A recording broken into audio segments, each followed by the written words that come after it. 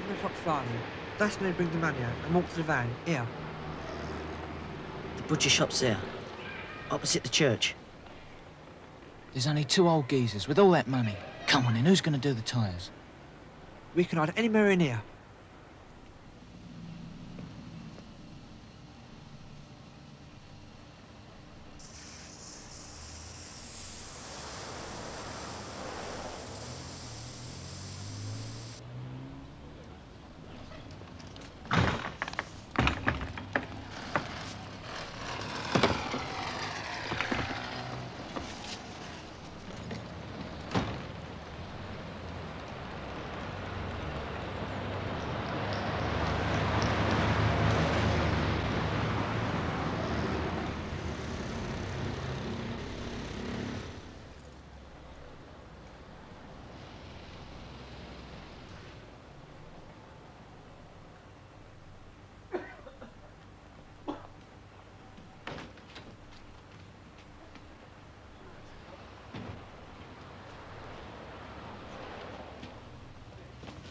Hey!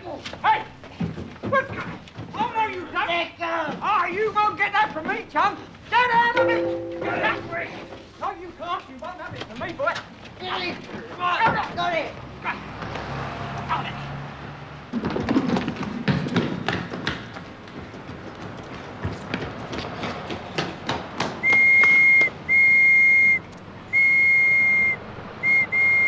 What trailing clouds of glory do we come from God who is our home.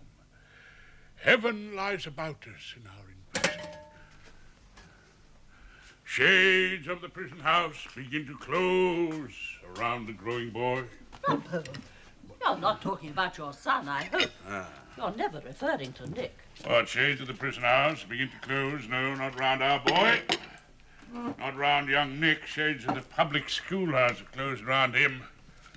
The thousand quid a year remand home. He's breaking up this morning. Ah, shades of the prison house begin to open up for the halls. Nick has to be met at Victoria at 11.15 and given lunch. When he went back to school, you promised him a show. You haven't forgotten. Of course I haven't forgotten. The only show I can offer him, I'm afraid, is a robbery with violence, number two court at the Old Bailey. Oh, I wish it was a murder. Nick so enjoyed my murders. I must fly. Daddy gets so crotchety if anybody's late, and he does love his visits. Our father who art in Horsham, give the old sweetheart my regard. Oh, sweetheart is oh, hardly the way you used to refer to your head of chambers. Yes, but I find it difficult to remember to call my head of chambers Daddy. Tell Nick I'll be back in good time to give him his supper. Your wish is my command. And try not to make the kitchen look as if it had been hit by a. I hear, O master of the blue horizon, she who must be obeyed.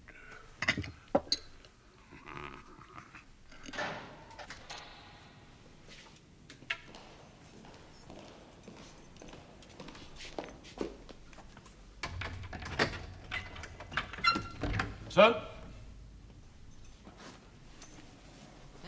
Hello, son. Got special permission to come and see you, you being a lad of tender years and all. Well, you've got to know the ropes round here. Mum all right, is she? Mum? Yeah, of course she's all right. Come over here. She's got your best jacket out to cleaners. Take that off.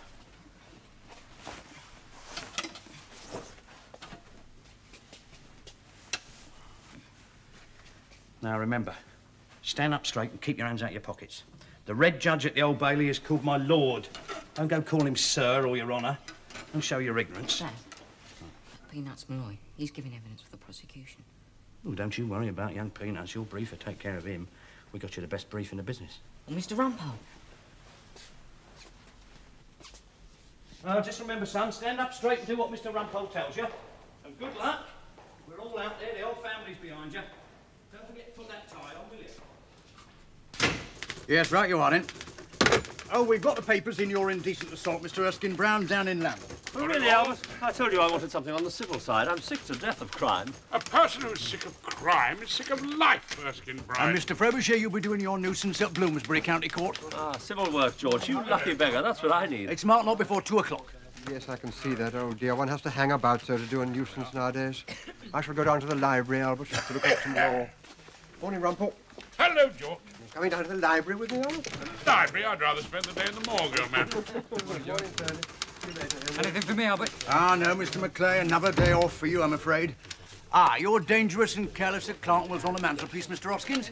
No checks, I suppose, Albert? Not today, Mr. Hoskins, now. Henry? Yes, Mr. Tree? You want me to go down Clerkenwell Court with Mr. Hoskins? We don't want you near any court, Henry. Not we've learnt to clean our fingernails and shine our shoes of a morning. But you could make me a cup of instant, because I'm parched. No, no checks for me either, Percy. You know the old saying, crime doesn't pay. Well, not for a very long time. Listen, Tony, if you're at a loose end, why don't you join me down at the Bailey later on? You can uh, take a note or something. You sure you wouldn't mind? I'd be grateful. Where are we, Albert? Oh, the robbery's not before 11.30, sir. Court number two, before Everglade. Ah. Mr. Guthrie Featherstone's against you. Oh, give me Featherstone. Apparently. Oh, I had an all-night sitting down at the house last night. Oh. I don't suppose your robbery will be much of a worry. Oh, no, except perhaps the young Jim Timson. Oh, Albert, uh, Mrs. Rumpole's gone down to see her father in in um, Horsham. Oh, my aunt had a horse shop in Tisham. How is Winston? Any better, is he? oh, no, it's just about the same, Uncle Tom, thanks. And how's young Nick? Oh, splendid. Ah, Nick! Albert is breaking up today. You'll need meeting at Victoria, the 11.15. And then if you bring him along, he can watch some of the robbery in number two. Your son's going to be in the audience, is he? I Huh? better be brilliant. Oh, I wouldn't bother, old man. It's his old daddy's come to see, after all. Touche, Rumpole. Distinctement touche. Yes, Thank well, you. I better get down to the Bailey. I'll walk with you. Oh, won't you need a stretcher or something after an all-night sitting with the gas mains enabling bill or whatever? Tony, see you later on. Oh, right.